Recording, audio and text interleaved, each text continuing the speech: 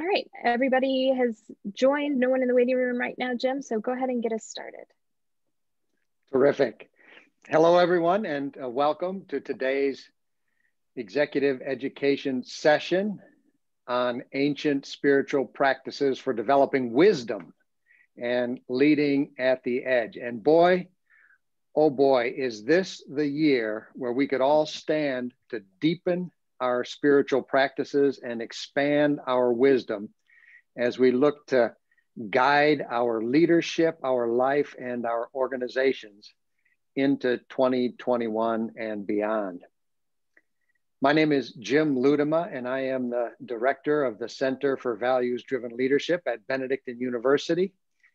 Um, I will be your host today and have the pleasure of presenting along with my colleagues, Dr. Amber Johnson and Dr. Nancy Sayer, whom I will introduce in just a minute.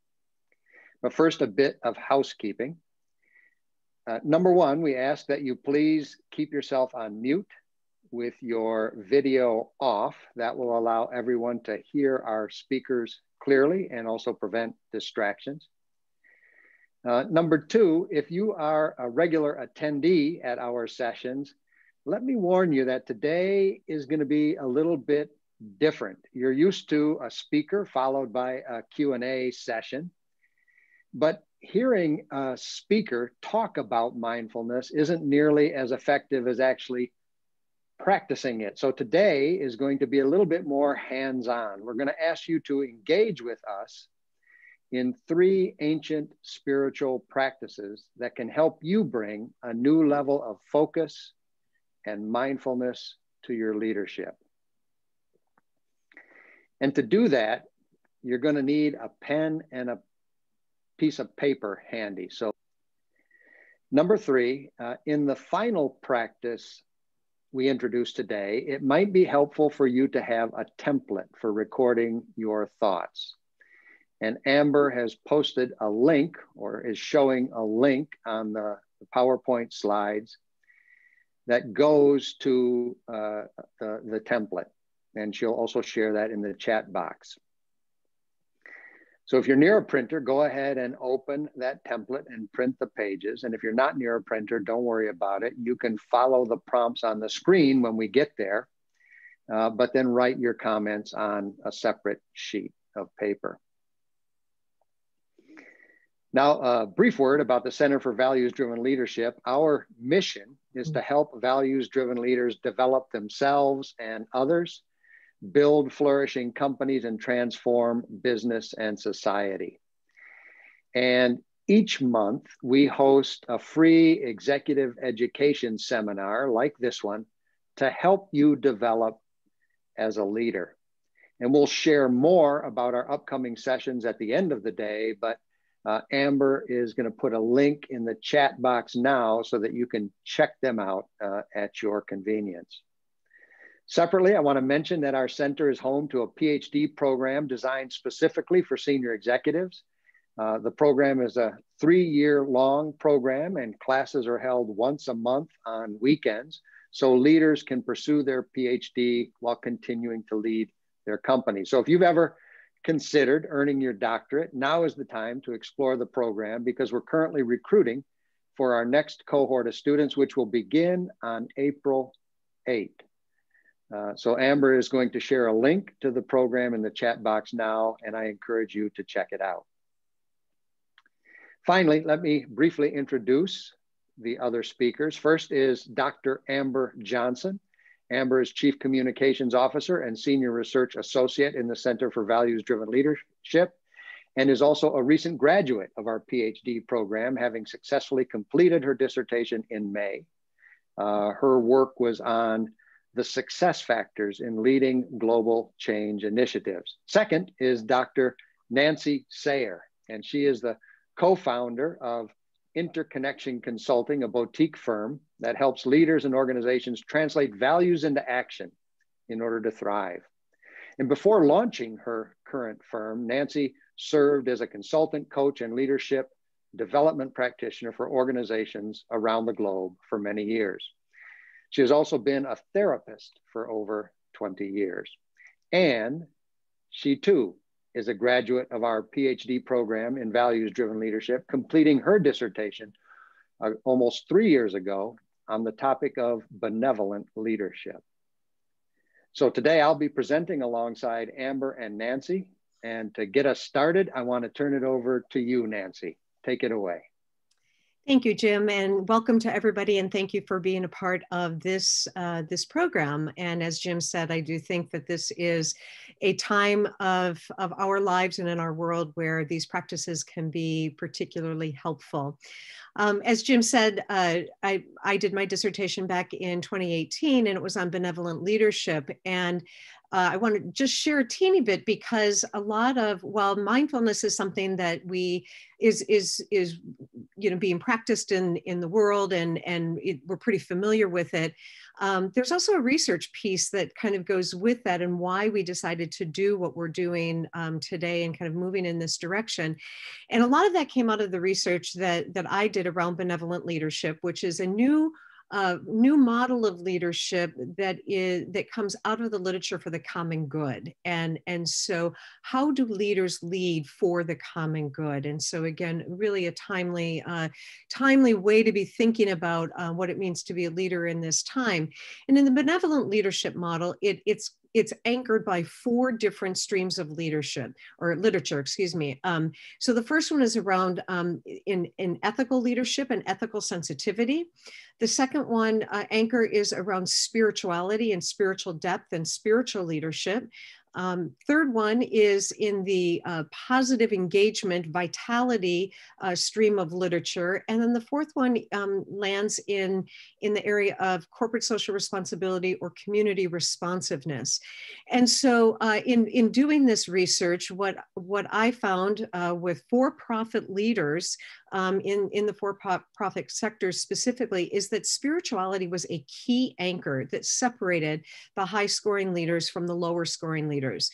And so, uh, so one of the things that I did was to look at some of the practices, and and so what we what we gleaned from that, and Amber, you can go ahead and flip the the um, the the slide there, is that using contemplative uh, readings, practicing meditation, thinking and reflection and and just being in that contemplative space and then being able to fully integrate one's spirituality into their work and not necessarily their religion. It's really separate it's that that deeper more spiritual aspect of of who an individual is and what makes an individual up. And so it was these four components that that really help to set these high scoring leaders apart. And so this creates kind of the foundation for why we want to share some of these practices with you today. So an example of that was a, was a direct quote from actually one of our leaders. Um, and, and, and what this person said was, when I was young, I had a tumor. The doctors thought it would kill me or at least cripple me for life, but it didn't. So I started to ask, why did that happen? Why did I, of all people, have that tumor? And why was my life spared? I believe there's something bigger that intervened there, whether it was a God or the universe or whatever. It said, Clark, we need you out here for a reason. So we're going to keep you alive and we're going to keep you strong. Be clear about your purpose and who you are and use it for the benefit of others. And so this is just an example of the kind of, of um, experience, the kind of, of way in which many of the leaders in the research that I did took a look at, at how this spirituality formed, shaped and formed them, not only as individuals, but also as leaders. So now we're going to invite you into this practice. Um, and you will be in this practice now for the for the majority of our presentation and so we're excited to have you here and we're excited to have you join amber Terrific. All right, well, we promised you three mindfulness practices and that we'd get you into them and doing them. And so let's start with our very first one, which is a visualization practice. So I want to invite all of you to sit comfortably in your chair. Um, be sure your back is supported and so you can sit straight and you've got your cameras off. No one's looking at you. So go ahead and just close your eyes. I'll keep my camera on, um, but I'm going to try to close mine too. And while I while we're sitting here with our hands calmly supported maybe on our thighs, our backs straight, I want everyone to take a deep breath. And as you exhale, really let your body relax. On the next deep breath, concentrate on inhaling as long as you can, holding that breath for a few seconds, and then again exhaling as long as you can.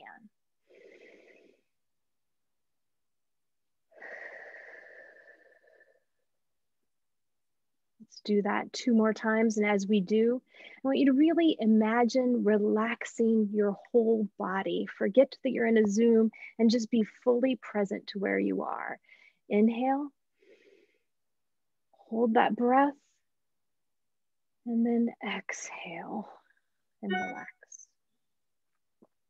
And now I want you to let your floats, your thoughts float away as you release those exhales. Let your mind come into a place of stillness and quiet. And on your next breath, I want you to imagine moving your awareness into a deep and quiet place inside of you.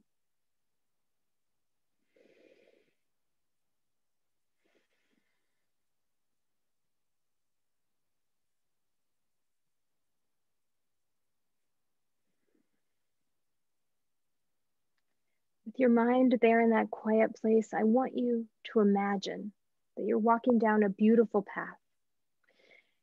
Imagine that path in as much detail as you can. Think of it as your inner sanctuary. Find what makes you feel comfortable and centered in that path and feel the beauty around you. Maybe there's an ocean and you feel the sand at your feet and you hear the waves.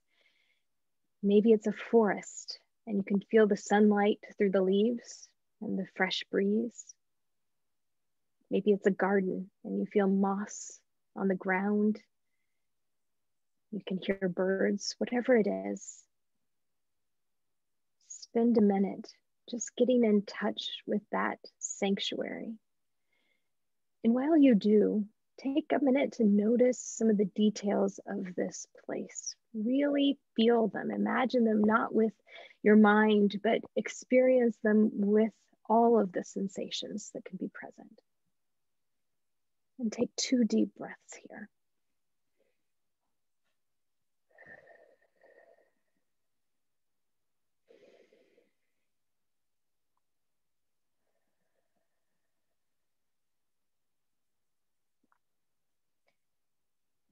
Now, as you're enjoying this quiet sanctuary, I want you to notice that off in the distance, you've become aware of the presence of someone else. It's a small child. In fact, it's not any child, it's, it's actually you, it's your inner child. And I want you to move slowly toward that child, carefully, delicately. Continue to notice the sanctuary around you. And as you get closer, allow yourself to sense how that child is really feeling emotionally. Approach the child make contact in whatever way you sense would be appropriate right now. Reach out to hold a hand,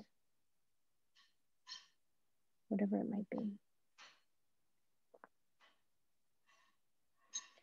In this quiet place with this child, I want you to listen carefully.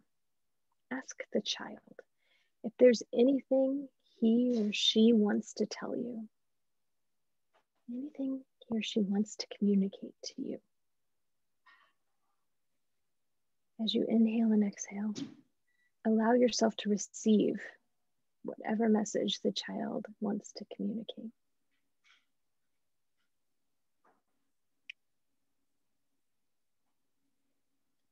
Now ask the child what it needs most from you right now or in your life in general. And again, really listen carefully to what the child has to tell you.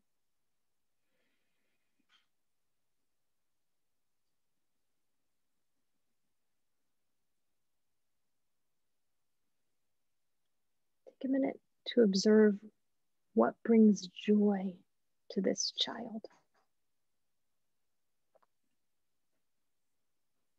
Consider what your inner child really wants from life.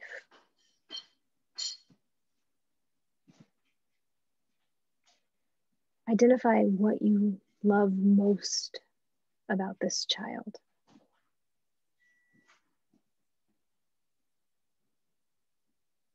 Be curious about what your child is yearning for. Is there something they want to do or something they want to be? Think about what you've seen bring light and spark to your inner child. We're going to sit in silence for a few seconds, concentrate on your breath, and continue to listen just carefully, as carefully as you can, to whatever message might be here for you in this moment.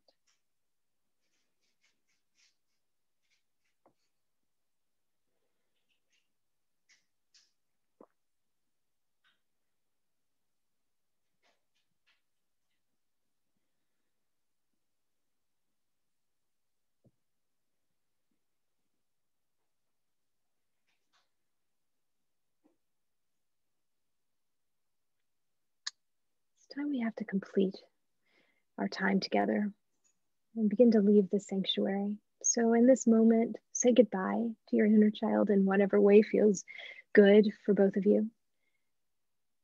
Remember that that child remains in that very safe place inside of you. And as you say goodbye, let the child know that you'll be back, that you want to listen, that you want to provide for what that child needs. And now I want you to become aware of your body here in this room, in this event again. And as you feel ready, open your eyes back, shift in your chair a little, become alert again to those around you, those you see on screen. And in just a minute, Nancy is going to um, take us a step further and to use the experience of this visualization to guide us into the next exercise. But before we do move on, I do want to just acknowledge that that uh, visualization exercise was adapted from Shakti Gawain's meditations, creative visualization, and meditation exercises to enrich your life. So that's definitely a resource you could call on if you wanted to spend more time finding that um, inner sanctuary and learning from it. And with that, Nancy, let me turn it over to you to move us to the next exercise. So thank you, Amber. So now what we're going to ask you to do is to find a piece of paper and a pen. Um, and in the next uh, five or eight minutes, we're going to ask you to write a letter to your inner spiritual child, to that young child that you sat in that place with, that you had a conversation with, that you asked questions of. And, and while it might be natural for you to want to type, we're really going to strongly encourage you to handwrite this letter. This will be useful in the next uh, exercise that we're going to do, but we also suspect that writing by hand is often a more memorable, a more evocative way of, of writing than, than typing. And so to begin this letter, we're simply going to ask you to put your own name at the top of the letter. So for me, Dear Nancy. Um, and then we just simply want you to share your reflections. Maybe it's a prayer, maybe it's a wish uh, with this with this inner child. There, there may be a piece that you want to uh, make inner, you want to make some kind of peace with this inner child. Or there may be something that you may want to apologize for. Or perhaps there's something that you want to congratulate or celebrate with your inner child for resolving a challenge that you've been dealing with. So there's no right or wrong way to do this exercise. Just simply follow your heart, just follow what comes up, and just simply keep writing. It doesn't need to be a perfectly composed letter, just simply write. And in a way, imagine that your hands have their own wisdom, that, that your hands know what needs to be said and, and want to express their own creativity. So again, we're going to give you about eight minutes or so to complete this part of the exercise and, and just simply have that conversation with your inner child.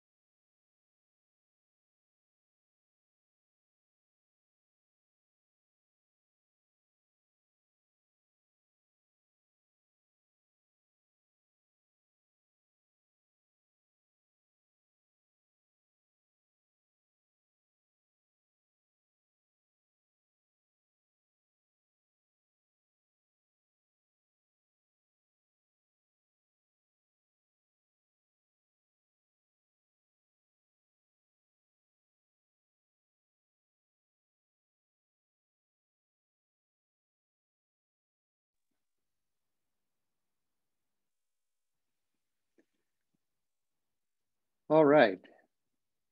I'd like to invite you back into the Zoom. Um, I'm sure that some of you are still writing, um, but uh, we would like to move on to the next practice, the next phase in the process. Um, and that is to move into creating a pan tomb poem. And for this exercise, it might be helpful to have that template handy that we discussed earlier. Amber will share the link again in the chat box.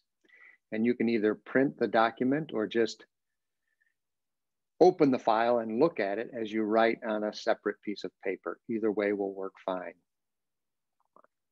So in the Buddhist tradition, writing poetry is often used as a spiritual practice and a pantoum is a form of poetry that is comprised of a series of sentences or phrases that are repeated in specific patterns. And it's a relatively easy way to write poetry in that only three stanzas of poetry are created through the methodical and repetitive placement of sentences or phrases that you select.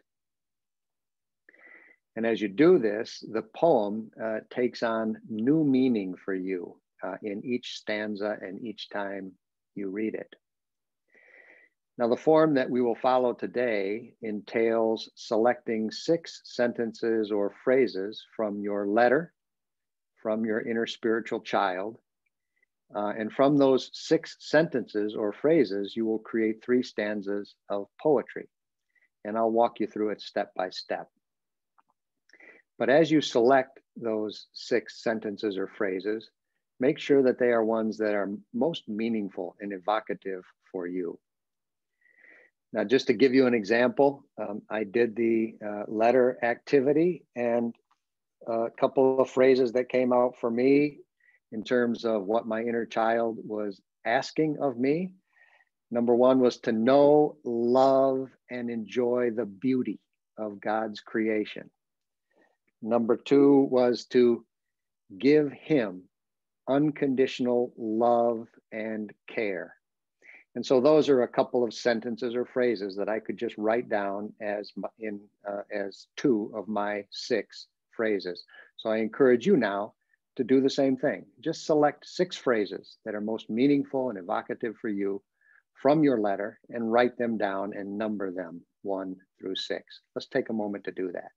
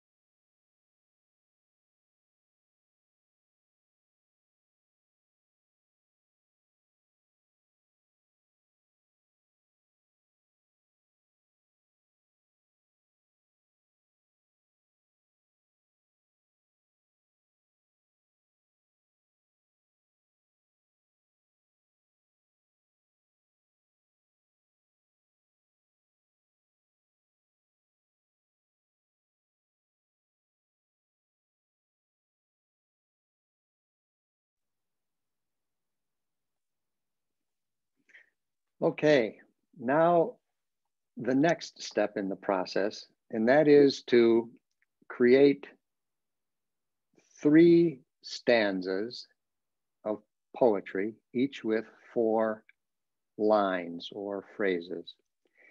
Uh, and the way to do that is to just select phrases from the six that you uh, just listed. And you can see in stanza one, uh, the idea is to put a new phrase down on each line. So for example, new phrase means one that you haven't used before. I might put to know, love, and enjoy the beauty of God's creation in line one. I might put to love and care for me unconditionally in line two, and so on, uh, the first four lines there. Then in stanza two, you can see line five asks you to repeat line two in stanza one. And then line six asks you to put in another new phrase.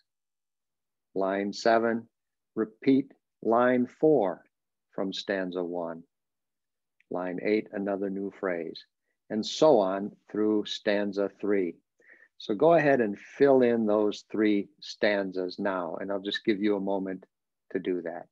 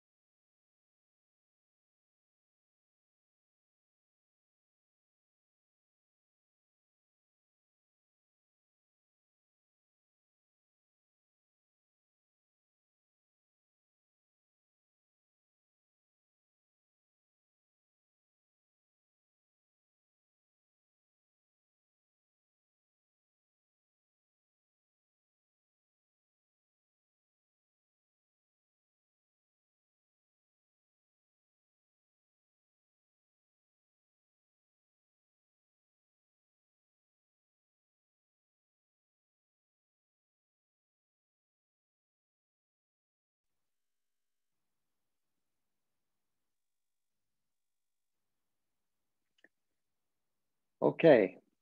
Um, I don't know. Uh, oh yeah, I was going to say, I don't know if you could see the last, that is to say line 12, it says repeat line one in stanza one. I couldn't see it for a minute, but now I can see it. So I just wanted to give that instruction. But hopefully now you have your three stanzas of your Pantoum poem. Uh, and now I'd like to invite you to take a moment to read through your poem a couple of times in a peaceful rhythm. And then you may want to make some small word adjustments to smooth out the flow as you go. And once you've done that, then read it through one more time and just rest in its message. And then, uh, so we'll take a couple of minutes now to allow you to do that. Read through the poem a couple of times, make any adjustments you might want to make, then read it through one more time and rest in its message.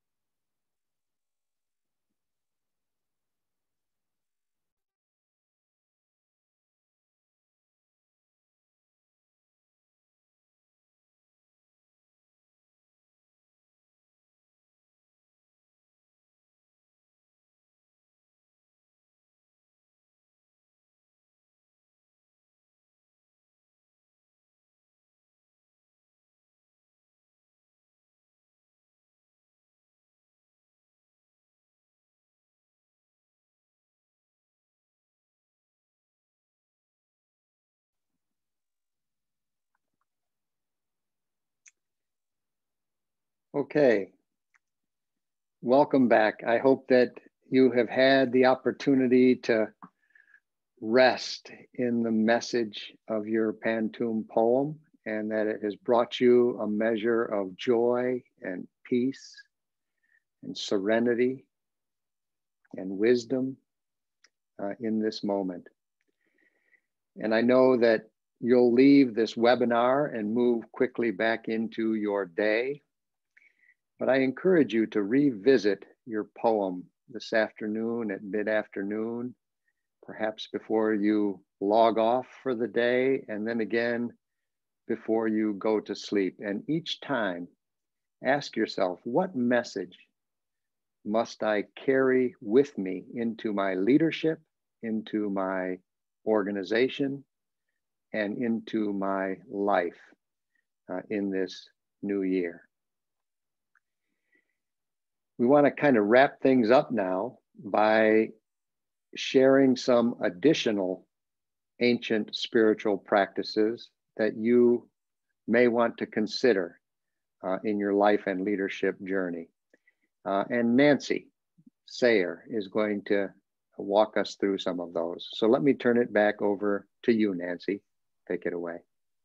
So thank you, Jim. And again, thank you for participating in that, uh, in each one of those exercises. And just an additional note that um, if there's a particular line that you care to share with the group just as a way to to debrief feel free to type that one of the lines that was maybe meaningful to you from that exercise type that in the chat room and maybe just share that but I'd also like to say is another way to do that, we did it through letter writing, but you can also use um, contemplative kinds of readings or just any reading where you decide to just pull out six lines that are especially meaningful to you and and create that poem out of that that reading. So it, it could be a scriptural reading it could be it could be a parker palmer kind of reading it could be any kind of reading that's meaningful to you that speaks to you and and creating that kind of poem to have a catalog of those kinds of things to help you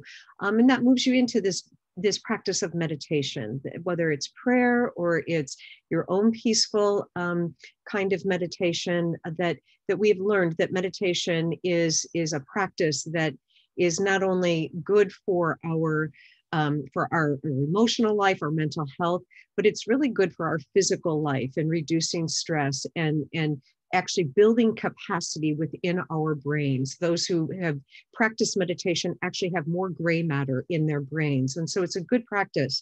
Another practice very similar is, is an old ancient practice called Lectio Divina. And it's a process of, of reading through the same um, it can be a, a, scriptural, it can be a line, um, but reading through and repeating that that line or that passage or that that piece that is meaningful to you several different times and each time what else speaks to me? What else speaks to me? To get to some of that deeper wisdom. A, a third uh, practice is a very old practice of, of the labyrinth, which is not a maze, but it looks very much like a maze. But a labyrinth is a path that goes to the center of the of the of the labyrinth of that that maze-like configuration very contemplative kind of practice. And the idea is to journey in and then to journey back out again in a contemplative sort of way. And so, one of the things that we have provided is a finger labyrinth, something that you can do right at your desk. So, usually labyrinths are done in a walking kind of, of way, but um, but uh, the finger labyrinth is something that you can use at your desk and and use that as that contemplative practice. And then something that's very uh, useful, and, and I noticed uh, Amber just in the chat room put a link to some different finger labyrinths that you can that you can utilize. And then a practice that we many of us use for our own physical fitness, but is one for uh, calming, one for bringing strength, um, not only mentally and emotionally and spiritually, but physically as well, is yoga. And for those of you who are in the Chicagoland area, um, I will be in March starting a uh, a new yoga class a program called Grit, Grace, and Groundedness, Yoking Yoga with Leadership. So if you're interested in taking part in that, and it's in it's integrating um, yoga with leadership concepts so that you can be a calmer leader in the midst of turbulent, critical, high uh, high energy kinds of times so that you can stay centered, uh, feel free to do a private message to me with your email. I'm happy to reach out to you with regard to that. Um, and then again, the link to um, the, the exercises that we have provided. And then finally, a new book that's out called Breath. And it's, it's a, a book that talks about kind of the lost art of breathing. And, and it talks about uh, how we can engage ourselves in various kinds of just breathing practices that help to slow our mind and, and that actually help to, to build our, our mental and physical capacity. So we invite you to take a look at that, at that book that, that really looks at the, the very tool that we carry with us, the very tool that gives us life.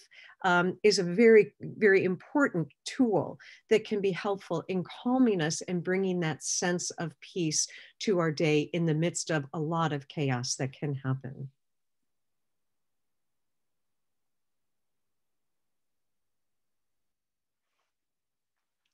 Very good. Thank you, Nancy.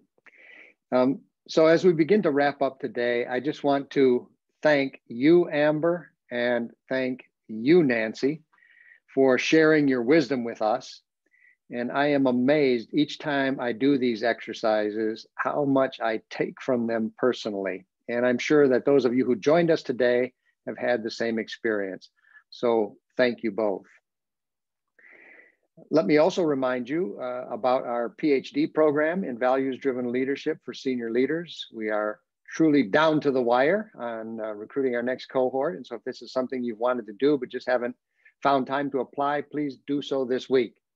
Uh, we know that the program has the ability to help transform leaders and we'd, we'd love to hear from you.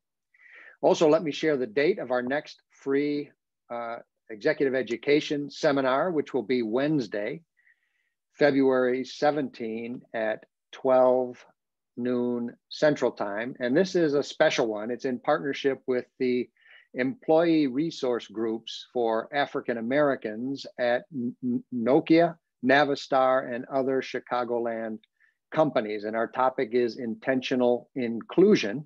And our guest speaker is Dr. Courtney McCluney from uh, Cornell University who is a world renowned expert in this area. So please register at the link you see uh, in the chat uh, and be sure to check out our March session on leading change through appreciative inquiry as well. And with that, I want to thank you all again for joining us today. Uh, another word of thanks to Nancy and Amber. Uh, and may you bring focus and wisdom and mindfulness uh, into your leadership and life in 2021. Thank you. And with that, we are adjourned. So long and have a great rest of your day.